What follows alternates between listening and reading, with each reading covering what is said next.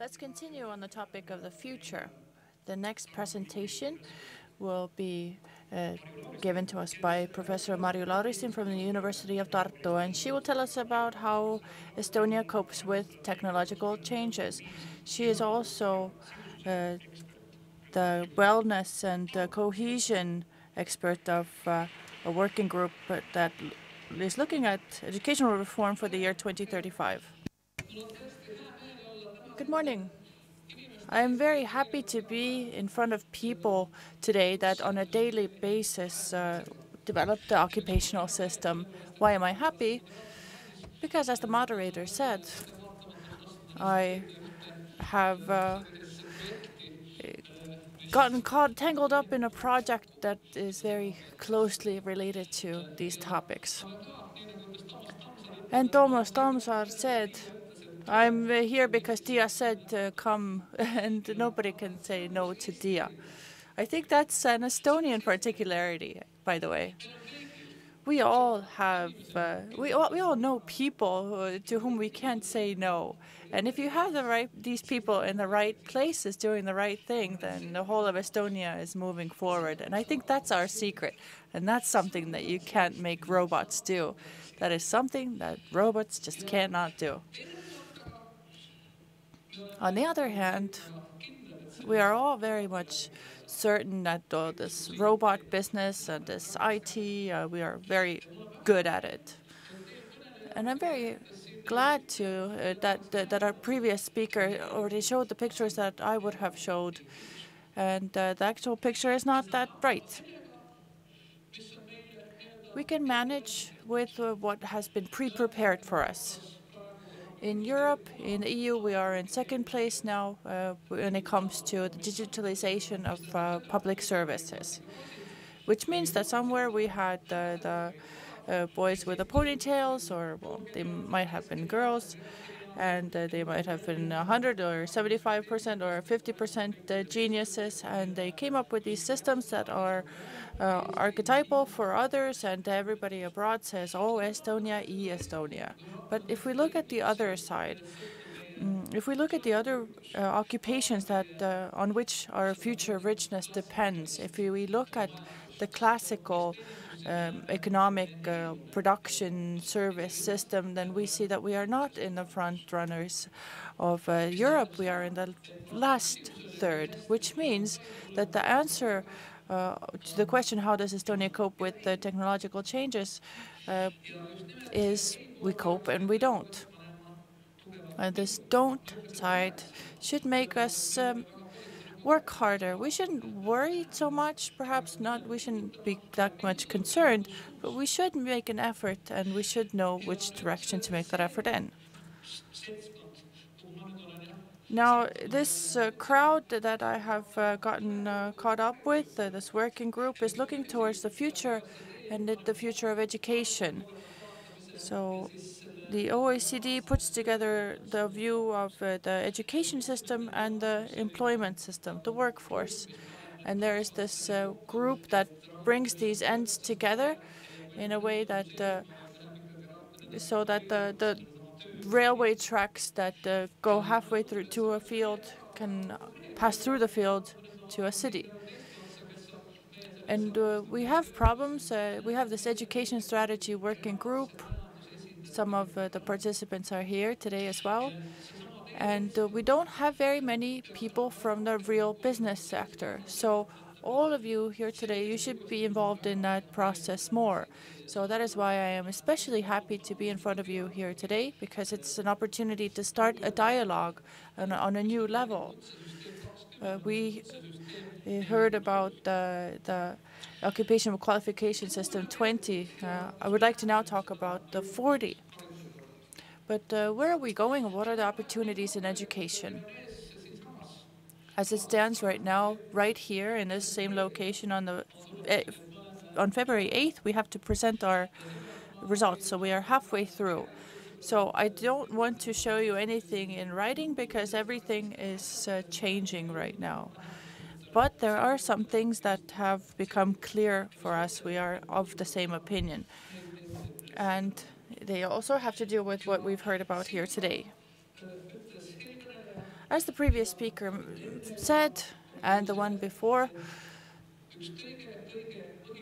one of the main things is to understand where it, does the reason, uh, what is the reason why we constantly talk about the education that provides us with uh, uh, knowledge and education, and then we have uh, the employers who say that I'm not happy with these employees. I'm not happy with uh, who's coming from the universities, the vocational uh, schools, and then they say we're not happy with what's coming out of research, we can't apply it. So all the time there's this divide or this chasm that we just can't fill somehow or cross. So to me it seems that uh, we have uh, a certain number of workshops that making keys, and then we have another set of workshops that making the key holes. But we need to put these things together. Because right now we have uh, the locks with one shape and keys with another. So how do we bring these two things together? Now, at the point at which we have arrived is uh, we have to start looking at education uh, in a way that is more individually centered. So it takes into account the person's interests, capabilities, uh, and unlike robots, every person is unique. Of course, that's not an absolute truth because as a sociologist, I know if I have a cohort of a, a thousand and I start analyzing it, then I see some patterns, and I think about seven to nine different patterns will emerge. Of course, it depends on the question or the what, what you're researching as well. So we have arrived at the, the understanding that we have to look at the, the education system, what schools and uh, all kinds of learning institutions are doing. So they should they should be rather a path uh, along which a person of any size moves, and according to their own pattern, they will get complementary knowledge and information. So we they would have uh, development that is as natural as possible. And on the other hand, uh, where should they go and apply those abilities, those skills? So this is when we get to uh, the occupational qualification system. I remember 20 years ago when it all started, Tia was so enthusiastic, uh, she so still is. But she was so caught up in this uh, challenge, and of course this landscape uh, looks very good right now, but this uh, lock and key system is still not working very well. Now, if we talk about the education system and making it as individual and flexible as possible, we have to take into account all these different uh, patterns. Then uh, we have to change what we've been doing since the Middle Ages, when uh, the when uh, basically a child was uh, sort of drafted into school and uh, put into a battalion and given a schedule and, and so on. And whoever is left behind is left behind. But you can't speed ahead and you can't move to a side and you can't veer from the course. So we want to break out of that. We want everybody to find each their own path and to get as high and as far as uh, they want to. But uh, how does a person know about how to apply themselves in the, in life? When I read about the Estonian Qualification Authority, which is now a big organization with many branches and uh, different civic society instances and uh, with employers, I see this huge network. But if I look at the meeting points in this uh, network, I have to figure out where do where do I fit in. I can't be a teacher. I looked at the teachers' uh, uh, occupational standard, and I, about 70% of it doesn't fit to me. But even though I've been a teacher my own, most of my life, and I've been pretty good, I think my students say so, but I don't meet the standards. How much time would it take for me? Well, I was just looking at the director uh, from uh, uh, my alma mater, if I wanted to teach so sociology there, if I wanted to take the course, uh, if I say that I'm not happy with graduates, if I'm not happy with people who come to the university, if I want to go back uh, to school to to teach myself, then I get a whole list of things that I have to do. Then another two years and another, and I say no, thank you very much, since uh, I, I've, I'm not sure if I can do this anymore. But see, this is a very inter a serious topic, and it reflects how we have to be individual-centered and how we have to uh, look at the, the we, we can't put everything in packages and tie it up with uh, nice bows. Now the question is, uh, how do we figure out what skills we need? On the school side, we would really like that also in the future, as we heard. We would like to have uh, the occupational standards and the curricula match. If we look at the curricula side, I was just speaking to uh, the people who are uh, developing pedagogical uh, curricula. They say that it's uh, it's horrible to match the curricula with standards that have been uh, put in place in the year X and they are effective until the year Y. And uh, since there are new strategies coming out and the standards are changing, and then you have to kind of come up with a curriculum to fit that situation. A few days ago, we had uh, the Estonian Education Congress uh, final day. Martin Saar, a young teacher, was uh, very coloredly talking about uh, the teacher's role, what the teacher has to do to meet all their responsibilities. And uh, he said that his main task to teach these young people and to deal with them, he has less and less time to do that because he has so many new forms to fill out.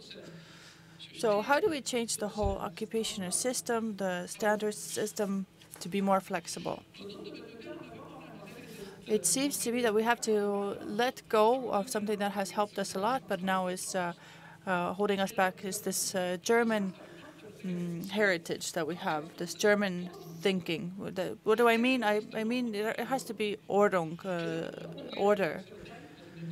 So you have to put in place an order first, and then you have to fill in the blank, so to speak.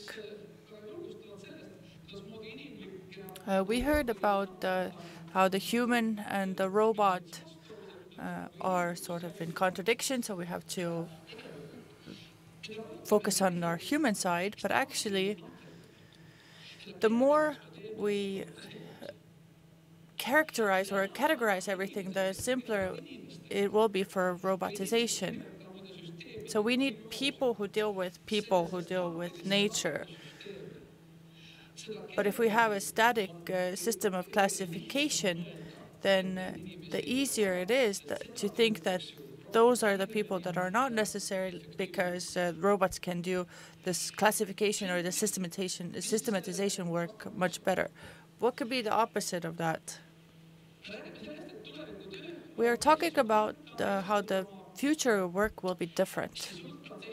Future work will be different because of its uh, work relations, uh, because how time will be um, divided between work time and leisure time, workplace and uh, home as a location will be mixed up. You will be able to work by, uh, on the beach, in the forest, and so on. So these things that used to describe work in the past are changing in content. Therefore, we first have to think about how are we going to describe work. Before we go on to create standards or patterns, we have to describe it. Uh, in a, an example, the first question was, how long have you been uh, active in uh, occupational system development? I've been a teacher for 50 years. I've written dozens of curricula, so it seems to be about 50 years. But uh, I think that's not what the askers thought. they were asking about uh, this specific Estonian qualifications uh, system, these rules. So it's also about interpreting questions. So how do we uh, describe changing work and how do we bring, bring it together with education? Lifetime, lifelong learning is no longer uh, a slogan. It's a very practical thing that has to be guaranteed by law. Uh, employers have come to understand it very well. But what should lifelong learning contain? Right now, it's like a wonderful big department store. Everybody is thinking about what they're interesting for him, and then they or her, and then they go and they see where the most best looking teachers are and where the most comfortable facilities are and where they have the best coffee. But actually, it's uh, the Estonian Qualifications Authority that says very well that uh, uh, the occupation system has to bring together the needs for the skills and uh, the skills and the preparation for those skills. So if I want to do work that's uh, that fits my capabilities, uh, how do I find out where to go? I imagine it could be a platform that the qualification authority might manage. So my capabilities, my activities, all those describe what I do. Fortunately, sociologists have also come to the micro level from the German Ordnung level. I'm not talking about the nanoparticles here, but uh, when it comes to, well, actually, rather, it, we have to look at the microscopic level of uh, work, the actual skills for whichever practice that we are talking about. And that's quite complicated. If, if I say, for example, I don't want to be a teacher anymore, I want to work at my uh, local supermarket as the head of a department. I think their uh, displays are horrible. I would want to design things a little better. I want to find out uh, where do I have to learn, where do I, where can I do it, and how long it's going to take. It shouldn't be three years. It should be three weeks. So if we had a platform where, on the one hand, uh, we have the input of uh, education so curricula, new modules, so precisely modulated curricula that take into account uh, what the people know already, what their skills they have already, what their tendencies are. And on the other hand, you should have a description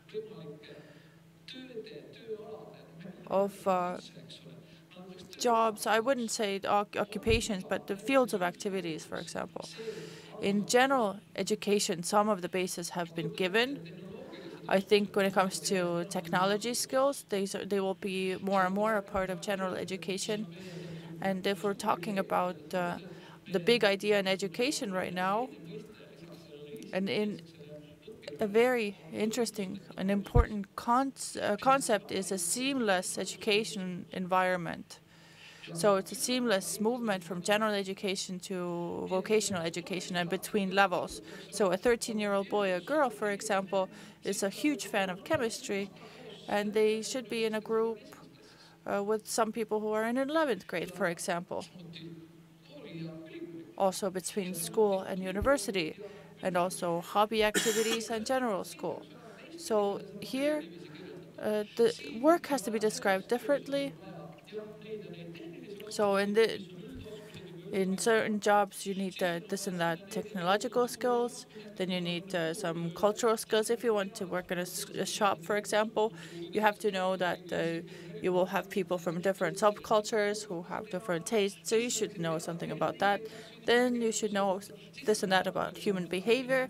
Then something about finances, uh, debit, credit, so on. And then you need to know something about digital things. So you have this whole pattern that everybody can uh, evaluate according to themselves. They can see which bits they already have, which bits they need to learn.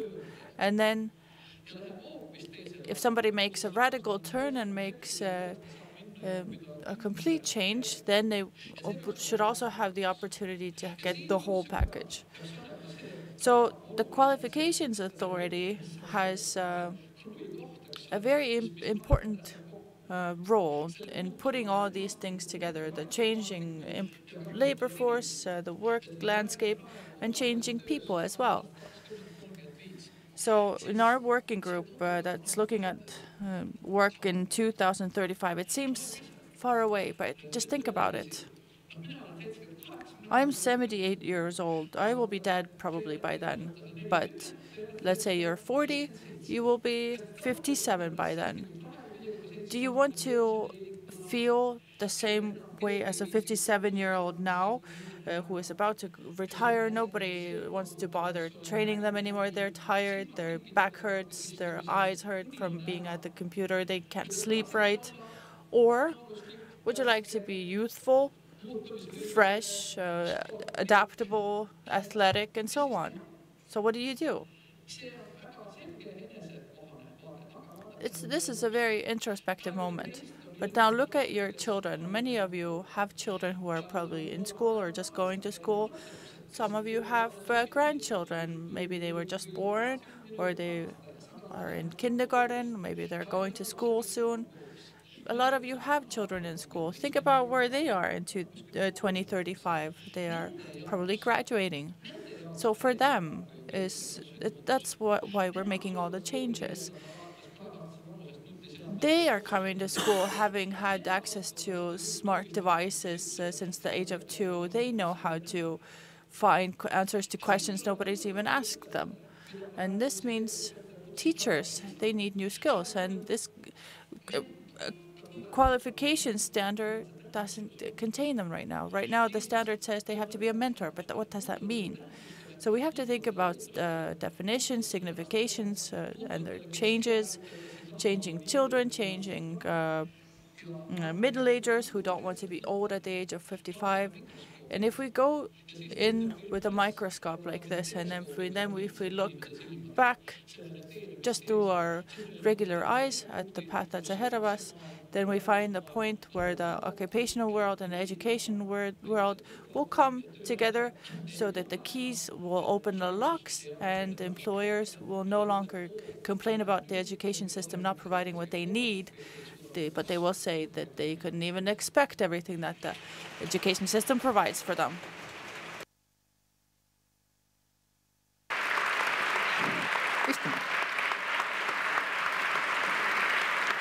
suur tänu suur tänu väga huvitava ettekande eest. Lähme kohe äkki. Thank you very much for a very interesting presentation. Let's take questions right away. I will take the first one from uh, our online application. First question, how do you find balance between mm, uh, curricula taking into account uh, the current needs and future needs? Well, it depends on the curriculum. I have to say that unfortunately, uh, two processes. For example, the pro the process that it's actually taking place in a business and in the school, they go at different speeds. When we develop a curriculum, we think about uh, the five to seven year perspective. But uh, if we ask a business what what they're doing in five to seven years, they say, "Oh my gosh, I don't know. I might be bankrupt. I might be in a different field." So everything that is short term uh, short-term training courses, short-term changes. Anything that been, can be achieved by education and uh, labor working together, that's important to, to, have those links on a daily basis and to have them function better than they are today. So in our work, in the work group, uh, we are also looking at in-house training and the employer's role.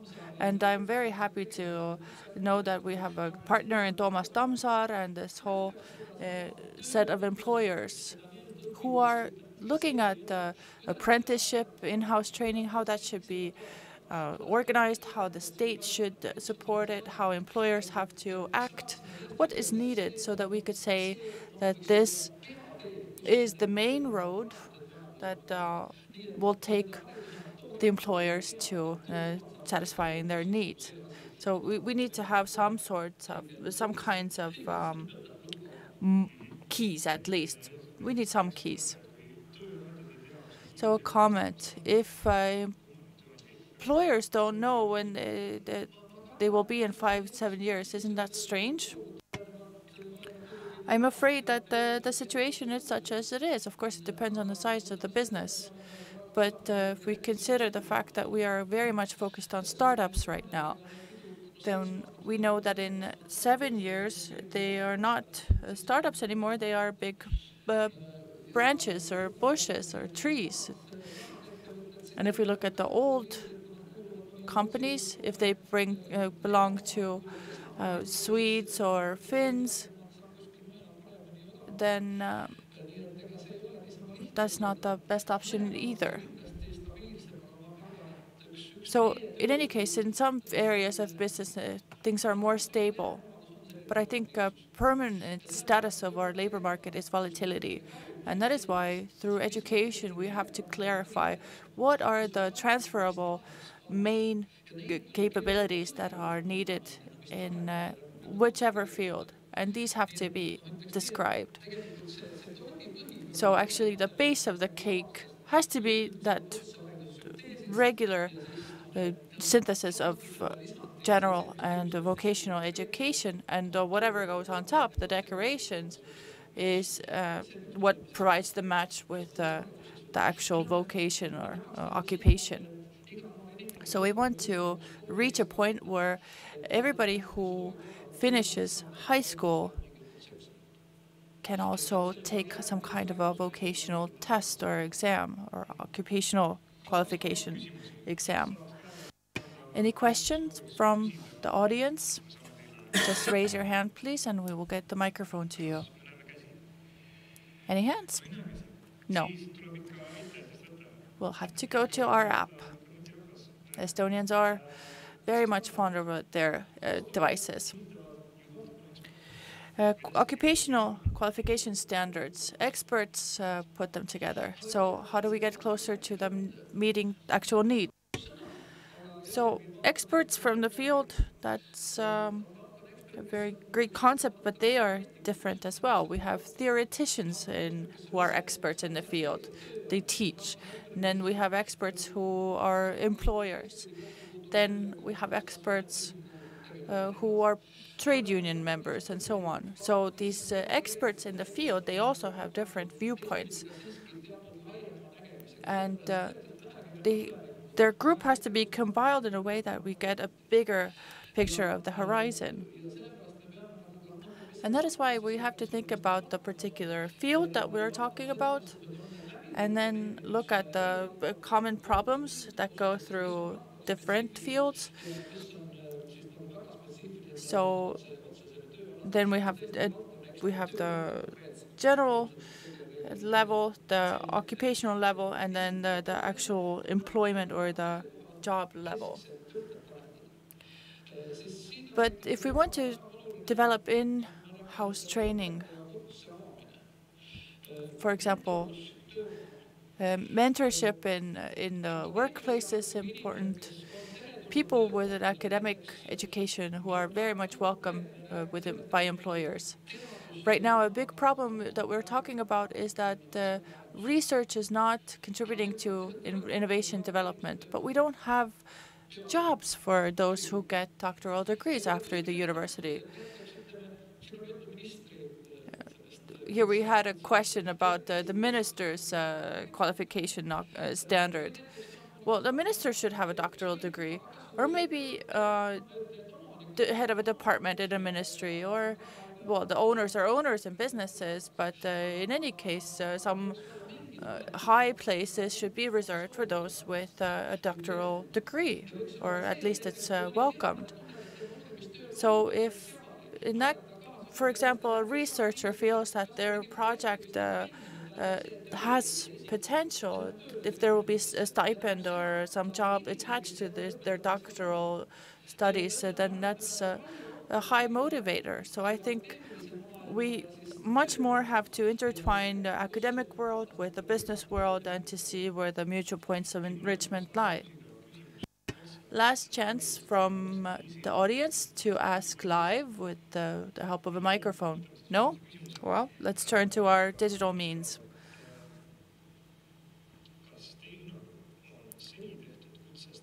According to you, the occupational standards right now, are they wrong or are their contents erroneous? Well, standards have played a big role in organizing the whole landscape, but uh, I think they are very uneven. Just out of interest, I looked at uh, the standards for teachers, uh, and I really was aghast after I looked at those. Then I looked um, at another uh, quite mythological um, job for an Estonian is a, a harvester driver or in forestry. So they have to know about the ecological side of their activities, and I'm not sure how they handle that. Uh, will they do it if they don't like it? Will they cut down a tree if they don't want to? I mean, are they allowed to do things differently than when they've been ordered? And then I, out of interest, I looked at the, the IT uh, field, and you know what I discovered? It's uh, the, the teacher's job is has been uh, described in a more detailed way, and actually the teacher should be the most flexible position. So the harvester has to know about the ecological knowledge, which I think will only make them miserable. And then the less prescriptions you have for IT uh, jobs, because uh, IT people uh, perhaps are so uh, so good at their jobs already that they know better than any standard writers about uh, what they need to do and uh, how they need to change. So I think we should move towards uh, general frames that can fit very different kinds of patterns. So this there should be a base of general competencies and then everything should be built on that. Thank you very much, Professor Lauristin.